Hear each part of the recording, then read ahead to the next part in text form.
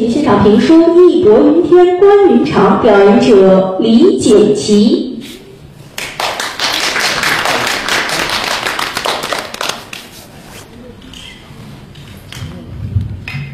谢谢大家的掌声。今天这个评书专场啊，跟往日不同。这周是三五啊两场，都是纪念评书泰斗、评书大师袁阔成老先生。周三呢，说的是小段儿啊，浩洋说了一个桃花庄，我呢说了一个消费买药。周五呢，我们俩人拆一个故事。选来选去，选谁呢？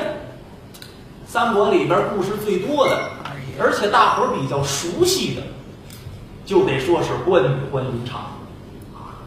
大伙儿熟悉，我们说着也省事儿，您听着也明白。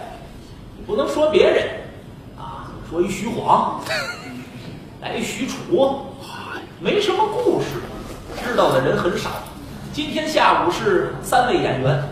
加上一个报幕员呢，一共是四个人，啊，说的各有各的风格。你看刚才这小魏说的这叫单口相声，啊，假行家，这也是名家的作品。刘宝瑞老先生，啊，他说的确实也不错。下去休息一下，我呢接着浩洋的义薄云天关云长，接着给您讲关羽的下半部分。这个从哪说呢？三国这种书啊，它不好表演，大伙儿也都熟悉啊。花几十块钱买本《三国演义》，您一看就知道。而且这个网上啊，录音也非常的多，袁阔成老先生的啊，单田芳先生的，江存瑞先生啊，连丽如连先生，都是名家。所以我们这小孩儿给您再说呀，恐怕您听着就费劲一些。总感觉有一些不足之处，而且按我们术语来说，这也不是我们最拿手的节目。当初学过，在天津学过，不过年头太长了。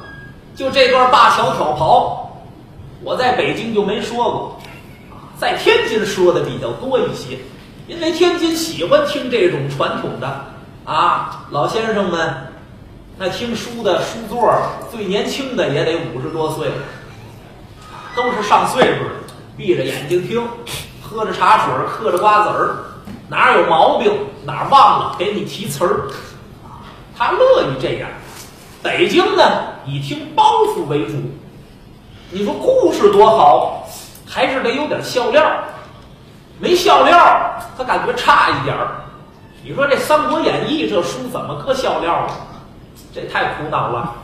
尤其关云长，那是。神人呐，啊，那是上天的神仙，五财神。我拿五财神开玩笑，我这一年怎么过的？啊，天天说书没人听了，怎么得罪五财神了？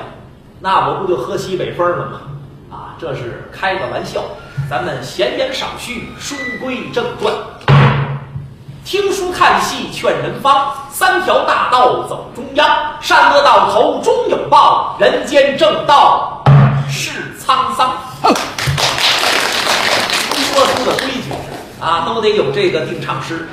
大伙儿对关云长非常的熟悉，关云长胯下赤兔胭脂兽，那是宝马良驹呀。关二爷仗着这匹马打了多少胜仗？刚才浩洋也说了，白马过斩颜良。说是斩颜良，实际上是刺颜良，啊，全靠这匹赤兔兽，啊，一团火云。再有就是掌中这口青龙偃月刀，八十二斤沉，多大气力？八十二斤，举俩煤气罐，一般人没这本事。再有一个大伙都不知道的，关二爷肋下有一口宝剑，三国原文上没有记载，啊。为什么说我们这得多研究？就在这儿，关二爷胯下马，掌中刀，肋下这口宝剑可太厉害，轻易不露。为什么呀？这可不是一般的宝剑。你说是削铜剁铁，削铁如泥，这都不在话下呀。而且关二爷这口宝剑好在哪儿？往墙上一挂，真有了危险，宝剑自己出鞘。啊，你说这家伙，这让人一听就太离奇了。七星刀，这宝剑怎么得来的呀？当初那还是关二爷小的时候呢，啊，小的时候念书，也没有学房，在哪儿念呀？离家不远有一个庙，教书的先生在庙里头带一帮孩子。关羽家里头最困难、最穷，这天孩子们都说关羽是小偷，弄得关二爷很郁闷。凭什么说我是小偷啊？人你们家最穷，最近庙里总丢油，天天丢油，不是你偷的，是谁偷的呀？你说人这话他也在理。关羽家最穷啊，关羽觉着不舒服。哦，我们家穷，我就偷油啊，我得看看谁偷的这油。晚上没睡觉，在庙外头贼着，看看究竟是谁偷油。就看远处，刮起一阵狂风。关二爷提鼻子一闻呐，这风带着香味儿，不是腥臊恶臭，香气扑鼻。关羽纳闷，怎么这么香啊？什么牌子的？胡姬花跟着古龙来的是怎么的？往里跟着走，一看庙门开了，借着月光往里一瞧，感情是一个漂亮的女子，长得可太美了。这女的偷油，哎，关羽心想：你偷油啊？闹了半天是你干的这事儿啊，我非得把你抓住不可。也是岁数小，胆儿也大，迈步过去，喊了一声：“谁？”说声这谁呀？把这女的吓一跳，做贼心虚呀，转身就跑。想跑，你别看关羽小，速度还真快，过去砰一下子。那个时候男女授受不亲，但是二爷岁数小，他不懂得这个，就想把这女的给拿住。这手啪就抓住了这女子的手腕，就感觉手中一滑，定睛一看，那是一个女的呀，变成了一条大长虫，变成一条怪蟒。嚯！关二爷吓一跳，哟，我是许仙吗？哈哈，这是我说的。过去掐蟒头，把这蟒给拿住了，把这蟒拿到家里头，到了屋中，把这蜡烛点着了。点着蜡烛一看，哪是蟒啊，是一口宝剑。他关二爷纳闷啊，把自己的父母叫起来，把这事一说。老头一瞧，这口宝剑可不错呀，试试吧。找木棍儿、铁块儿，啪的一削，削铁如泥，吹毛利刃。好是好，光是一口剑，缺一个剑匣呀，得配剑匣去。第二天找打铁铺啊，配剑匣，怎么插也插不进去。老头说得了，你这口宝剑跟一般的剑不一样啊。那是仙家的宝贝呀，以后将来能碰见合适的再说吧。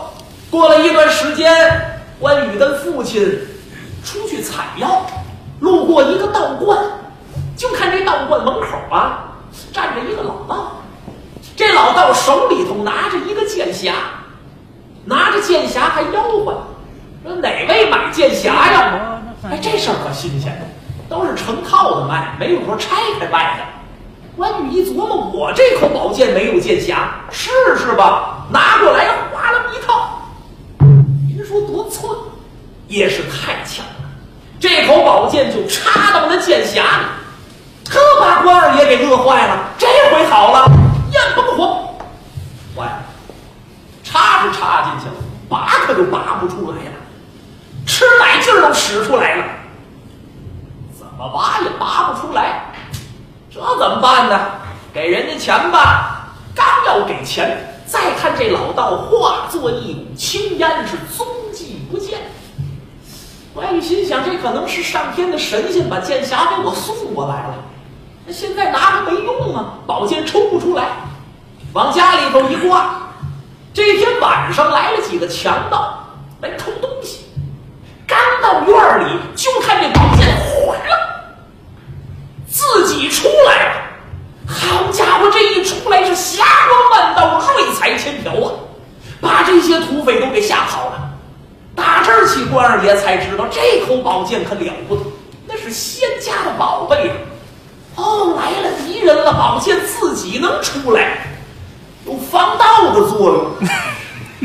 打这儿起，这口剑就留在关羽的身旁。关二爷一战赤兔兽，二丈青龙偃月刀，还有这一口宝剑，那可以说是大遍天下没有对手啊！都说二爷义薄云天，忠义千秋，这话确实是不假。您想，关二爷这一辈子，温酒斩华雄，虎牢关前三英战吕布，吕布那是多大的能耐？在三国里边，人中吕布，马中赤兔啊！吕布排头一位，谁也打不过。关羽一个人跟吕布战了几十个回合，也是拿不下。哥仨斗吕布，传为了佳话。虽说不光彩，但是别人还战不了吕布呢。后来白马坡斩颜良，延津渡口诛文丑，过五关斩六将，这一步一步，水淹七军，威震华夏。所以说，关二爷在大伙儿心目中这个位置是非常的重要。饭馆儿啊，有什么洗浴中心，供关羽的偶像啊，财神嘛，饭馆供可以，供关羽别供张飞、关张啊，合适啊。洗浴中心来关我不太好，哎，他不懂得历史啊。关二爷是什么人？武财神，忠义千秋啊！你让关二爷给你看着窑子，你想那买卖能好得了吗？所以说，洗浴中心、洗头房这种地方，你可千万别供关二爷。那洗浴中心供谁？供郭德纲。哦，倍儿灵啊！那好，酒色财气，这是说个笑话。所以说，关羽大伙儿都是非常的熟悉。刚才浩洋也说了，关羽关云长挂印封金辞汉相，保着两家皇嫂到河北去寻凶。单说这一天，车仗刚刚走到霸陵桥这儿，就看后面，哗，征尘滚滚，是战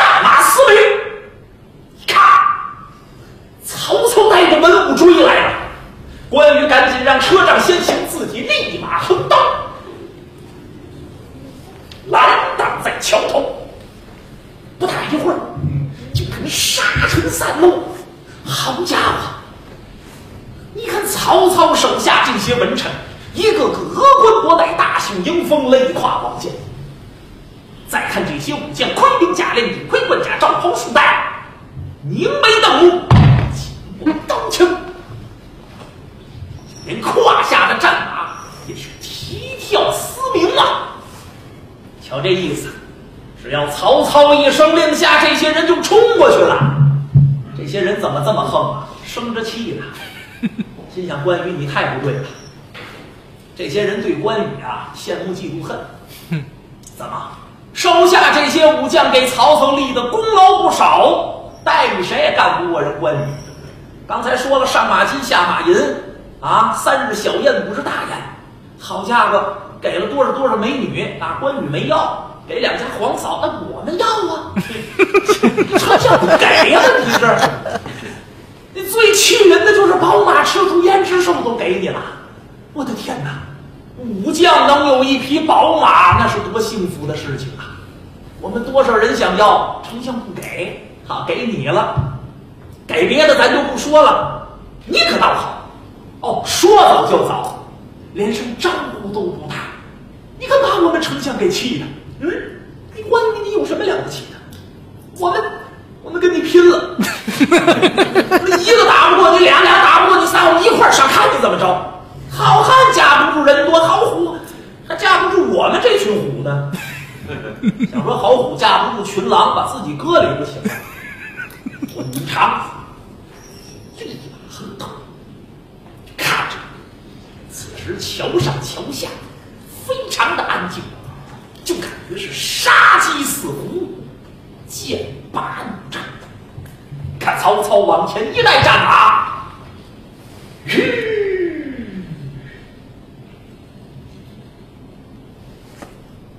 云长公要到河北去行凶，老夫特率众文武前来给君侯您送行啊！大伙儿这个泄气。今丞相，你疯了！你刚才在在家里，你说到这儿就把他拿住了，怎么改了送行了？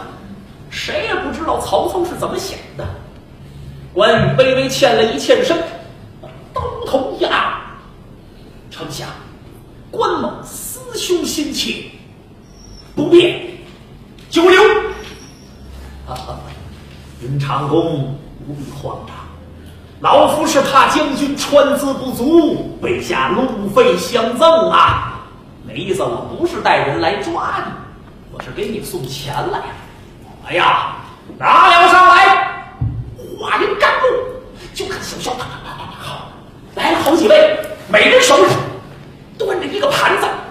你看这盘子上，好家伙，金光闪闪，全是马蹄金。我的天哪，这些武将都瞧着。这么多钱，大家都是黄金呐！我说啊，这多少克？别废话，那都金了都。这一放，您再瞧关二爷，连看都没看。丞相，关某路费经费足，再说无功受禄，于心不安呐。我看这些金银，还是分发给众位将士吧。这些武将心说：“关羽够意思，临走还给我们留点什么？”关羽不要。曹操一看关羽不要，点了点头。云长公，既然坚持不受，老夫也就不再勉强了。我深知君侯秉性忠正，志向高远，才不难动汝心，女色难以辱之啊。将军武功盖世，忠义无双，真乃是天下看我呀！不过君侯说无功受禄，这话可就过枪了。谁人不知，哪个不晓？将军在白马斩了颜良，眼睛诛了文丑，这与老夫有救命之恩啊！难道这还不能算是功劳吗？老夫我是志大才疏啊，平生所愿就是能与君侯这样的贤良同舟共济，成就一番霸业。自屯土山约三事后，老夫蒙将军的错爱，得与君侯共事多年，将军的品性和才学都令老夫是钦佩万分呐。君侯，今日一别，不知何年何月才得相见。老夫这心中实在是舍不得将军您走啊！各位，此时这位曹丞相的心情太复杂。怎么这么说？当初那是曹操杀散了刘关张结义的弟兄啊！也是曹操收留了无数投奔的关羽，把关羽收在自己的麾下。这要依着别人，早就把关羽给宰了。一些武将是杀了他，文官也给出主意说关羽不能留啊。但是曹操没这么做，为什么呀？曹孟德那是爱才的人呐，爱将如匹。他知道关羽这可是个人才，这人我不能杀呀。万一他大哥刘备死了，关羽是重情重义的人，我这么对他，他不能不感动，他肯定得好好的报答我。满以为刘备死了，没想到人刘备没死。屯土山约三世说了，我不管在你这儿多长时间，我只要知道我大哥刘备的下落，我就去找他。曹操也答应了。现在关羽真的要走了。曹操失约，那就不像话。真要听大伙儿的话，把关羽杀了，也是易如反掌。但是曹操不能那么做，为什么呀？您想，曹操真要把关羽给杀了，这要传出去，谁还来辅佐于我呀？嗯，我这脸面往哪放啊？大伙会认为我一狠心毒，所以曹操不能这么做。但是真把关羽给放走，这样的人才舍不得呀。所以曹操心里头那真是非常的复杂啊。云长公，临别之际，老夫无以为赠，备下一领战袍相赠。哎呀，拿了上来，话音刚落，就看刘大虎跑过来一个小将，小将手里端着一个大红的漆盘，一看这盘子上，好家伙，整整齐齐叠着一领崭新的婴儿绿的战袍。再看曹操一提这袍襟，啪，锦袍随风直摆，往手上一托。他一看，哎呀，这袍子可太好了！掐金边走金线，上绣海水晶牙，龙探爪蟒翻身，宽片云锦。那是曹操找了最好的裁缝，找了最好的面料，找了最好的制作单位，刘 德华服啊！这是广告之刘德华不做不了这个，那是给关羽量身定做的。曹操往手里头一托，往前一递，关羽可为难了。你说要按礼仪来说呀，人家站你面前给你礼物，最起码的你得下马接受吧。但是关羽他不能下马呀，怎么怕那些个武将？那他不怕，关二爷往上一站，那些武将就没放在眼里。关二爷怕什么呀？我真一下马，曹操把这袍子往自己身上一披，抱着我一哭，云长别走啊！我关二爷可就真的不忍心走了。哎可是不下马，这袍子怎么接呀？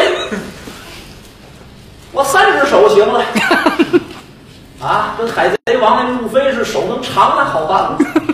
这 关二爷是灵机一动，一看掌中青龙偃月刀，丞相，关羽甲胄在身，实际上就穿着普通的衣服啊，就这么说。关某甲胄在身，不得下马，我要用刀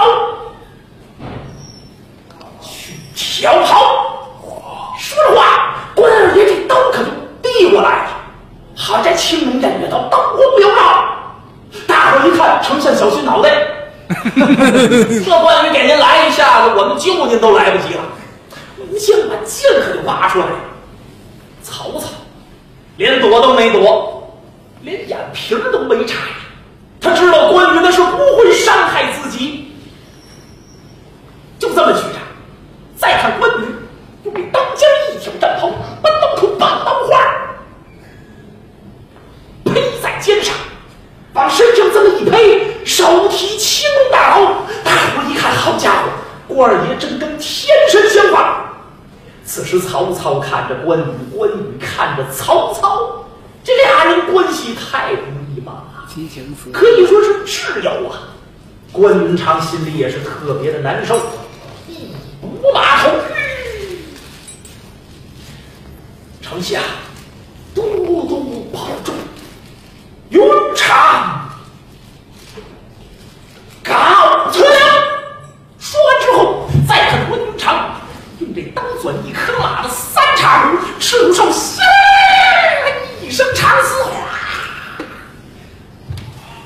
扬长而去。曹操看着，真走了。众文武是议论纷纷呐。这说丞相这怎么了？这是这些人哪能理解曹操啊？送钱谁也不能理解曹操这位大军事家、大政治家的豁达胸怀。这叫不刮春风不得秋雨啊！如果没有今天的灞桥赠袍之意，怎么能有后文书华容道放曹之情呢？曹走吧，别看着了，一路走好。曹操带人回去不提，单说关羽关云长，说着容易，过五关斩六将，真做到了谈何容易？咱们简短截说头一战，金凤山先生廖化。廖化啊，占山为王的一个山贼，山上两位寨主廖化行二，还有个大哥啊，大哥叫于谦。这于谦酒色之徒啊，嗯 才华倒流，胡作非为，不干正事儿。嗯嗯，一看山下树林子这儿有车站，派人截上来，撩开车帘一看，哟西，呀，把于谦乐坏了。花姑娘，不为这俩媳妇儿，甘夫人、糜夫人太美了。那岁数，说实在比关羽还小呢。可这好，他俩。哎，跟廖化说，兄弟，咱一人一个，来压寨夫人。哎呦，这一下甘夫人、糜夫人哭啊，哪儿啊？好家伙，我们是皇亲国戚，怎么归了说相声的了？归山贼了吗？说相声了吗？放声痛哭。廖化，你别看是山贼，非常的正直。一问怎么回事啊？你们丈夫是谁呀、把这经过一说，我们夫君大汉皇叔刘备刘玄德，我们二叔关羽关云长护送我们。嚯，一提关羽可管用。廖化太崇拜关羽了，那忠义千秋谁不知道？廖化就劝谦儿，这事儿你不能这么干，你好好天桥去吧。甭想这花姑娘，三说两说，廖化急了，手起剑落，一剑就把于谦给宰了。好，好，好，好，于谦招谁惹？哪儿就那儿傻，还有叫好的，连活的也不易，你说？啊，说一笑。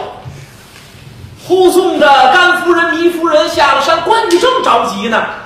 这边挑袍让车仗先行在树林子里头，我一会儿就回来。到树林子这一看，怎么人没了？一看就打山上。车仗下来，廖化赶紧翻身下马，把这经过一说，关二爷是千恩万谢。哎呀，多谢多谢！可叹从此相声界少了一个连活的呀。这不是关羽说的啊，这是我说的。关二爷对廖化、廖元简是千恩万谢。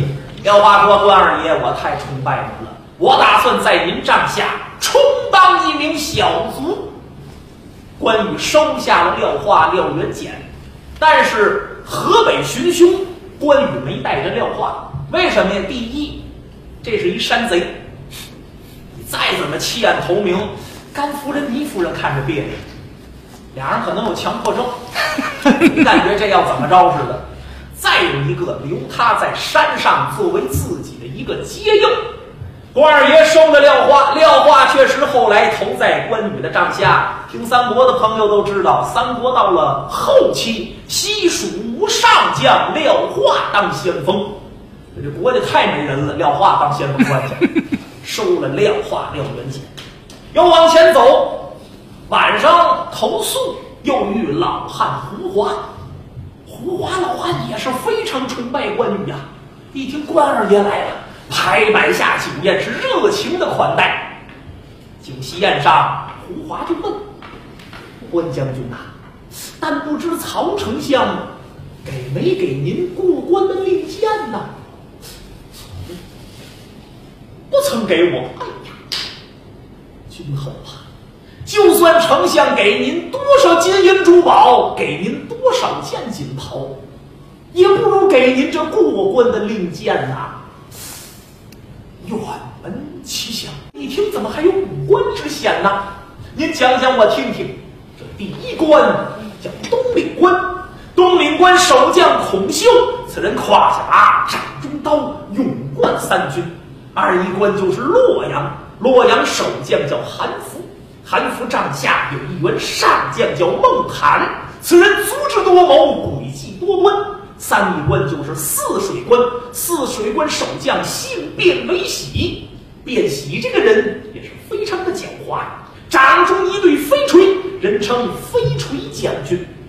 第四一道关守将叫王直，这些关不在话下，唯独这第五关黄河渡口守将叫秦琪。那秦琪马快刀沉，乃是上将夏侯惇手下得力的猛将，那是老将军蔡阳的外甥啊。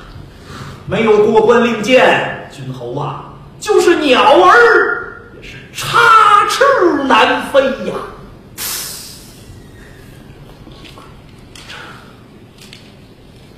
关羽是沉吟半晌，喝了一杯闷酒。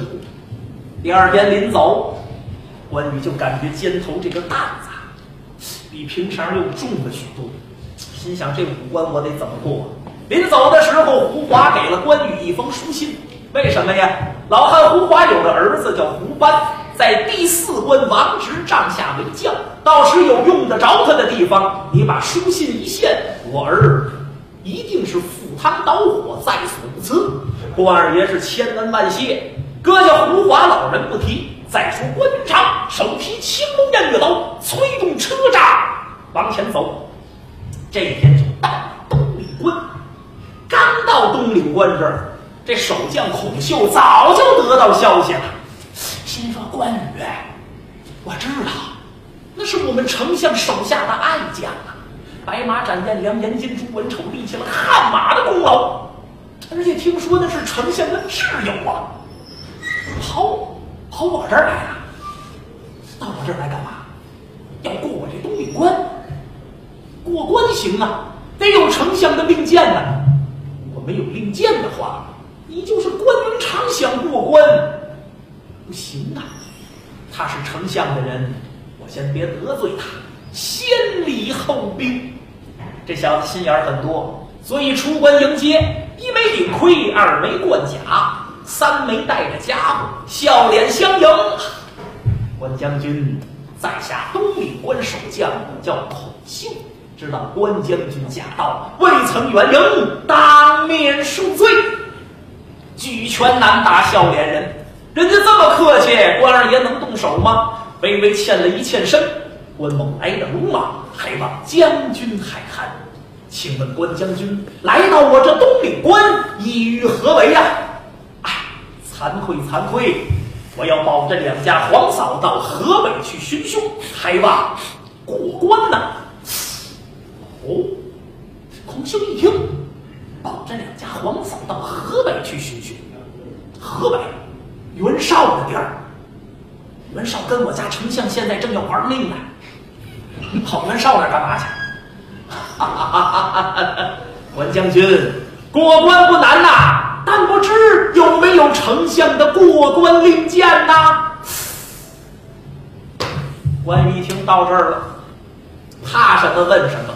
哎惭愧惭愧，行事匆忙，没来得及向丞相讨要过关的令箭。哦，哈哈哈哈！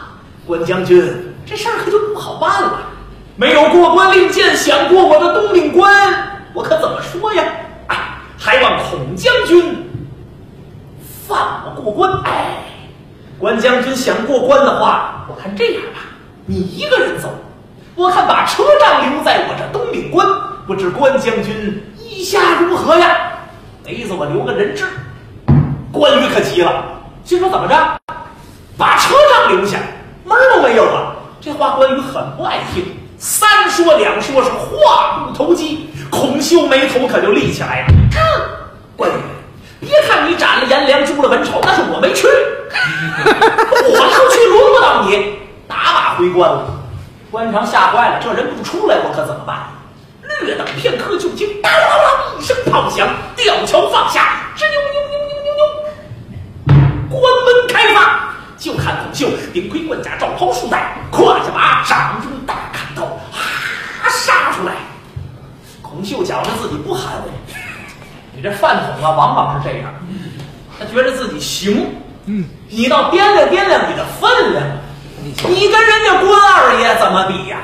你那马就不如赤兔，那赤兔那那马说实在的那种龙性啊，咔就过去了。他这马咩咩咩跟山羊似的，马骑喜羊羊就出来了，喜羊羊来，羊羊咩咩咩来，到关羽跟前，刀刚举起来，那意思我搂头盖顶就把你劈了。关羽比他快得多，掌中青龙偃月，那就跟闪电一样，一抬手，啊一个回合都没走了声，单劈孔秀。孔秀手下的这些兵卒可就乱了，我的天，大帅死了，跑啊！关羽把大刀一举，啊！我杀孔秀，事出无奈，我就位过关，尔等好好守关，将来丞相来问，尔等如实禀告。君侯您放心吧。叫什么手下？武将一死来这么一句：“君侯您放心吧，您杀的对呀。”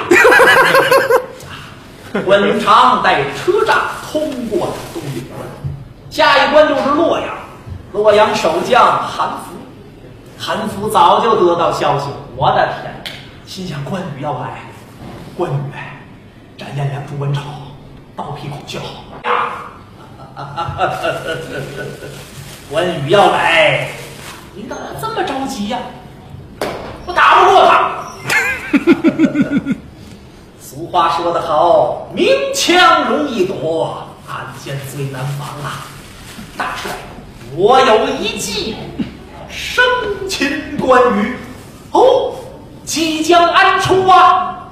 咱们提前埋伏好绊马索，准备好绊马索，关羽来，咱二人一同出来，我去会战关羽，你行吗？大 帅，我苦练武艺，关羽我看了不算什么，多了不敢说，打二十个回合恐怕不在话下。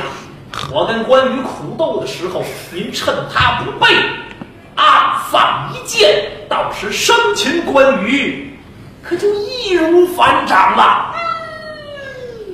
好计，好计，倒霉倒霉，这计上关羽来了。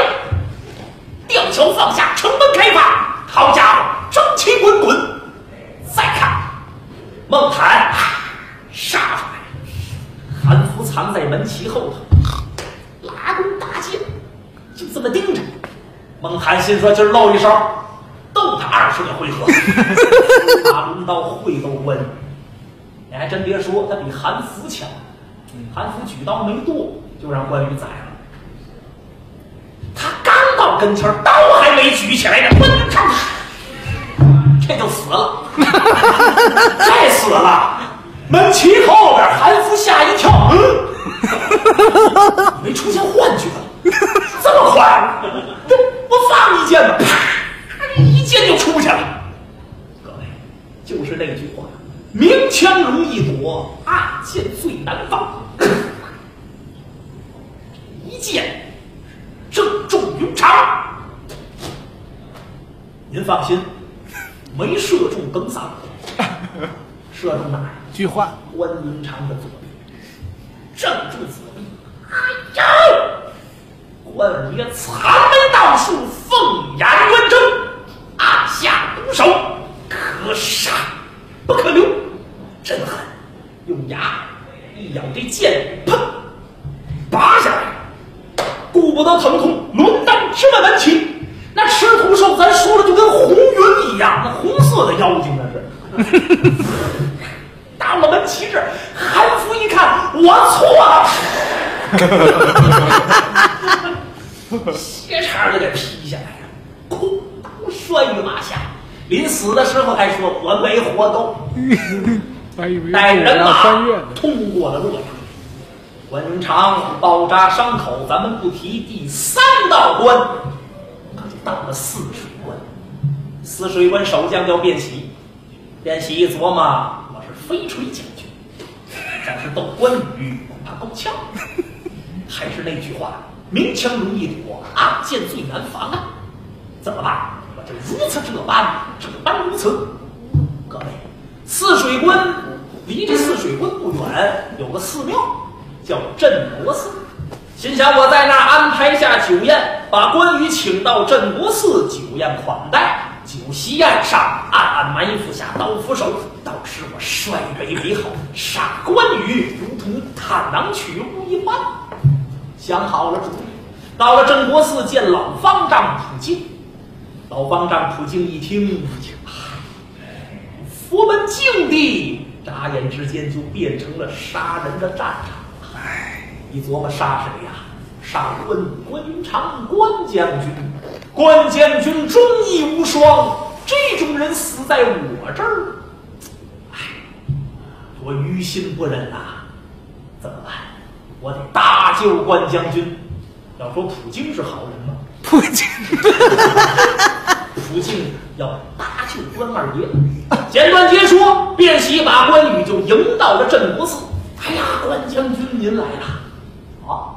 关羽一看卞喜也是没顶盔没冠甲，穿着便装来的。君侯啊，我对您可是太崇拜了。都说您忠义无双，今天能见到您，真是三生有幸。呵，笑的就跟笑面虎一样。关羽很为难，哎，惭愧惭愧。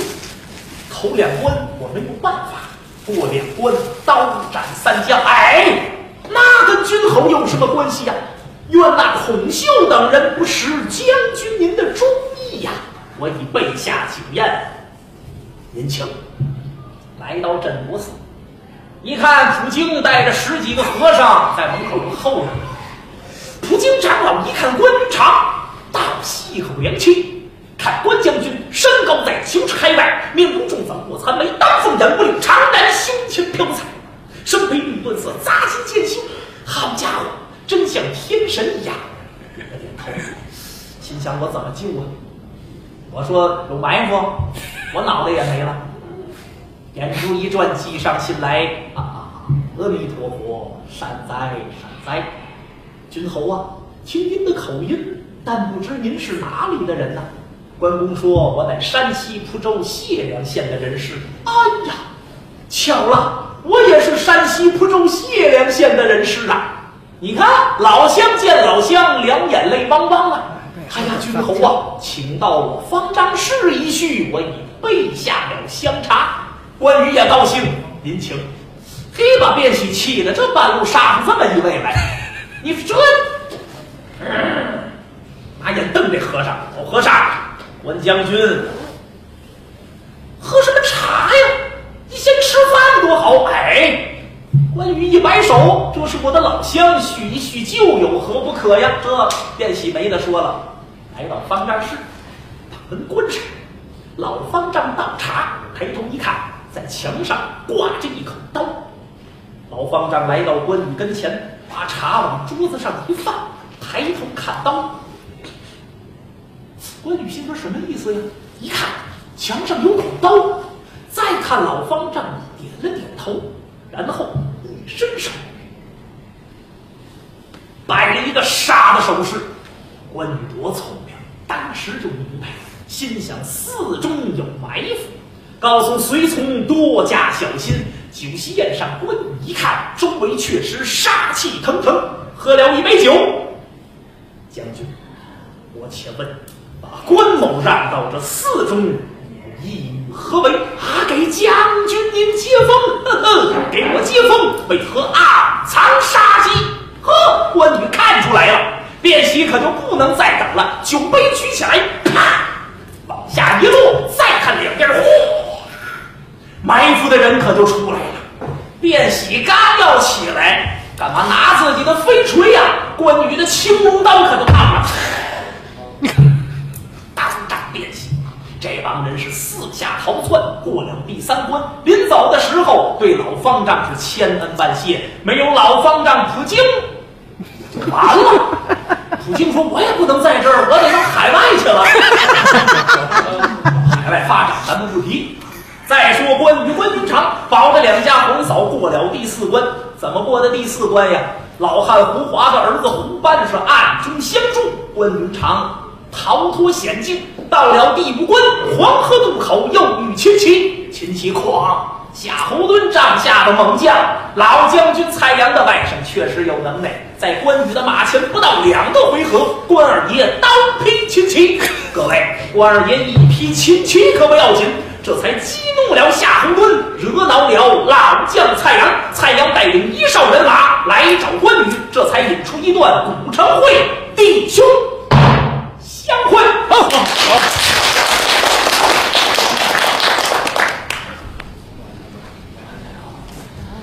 好，好此时我们的评书专场也就到此结束了，感谢您的光临，我们下周再见。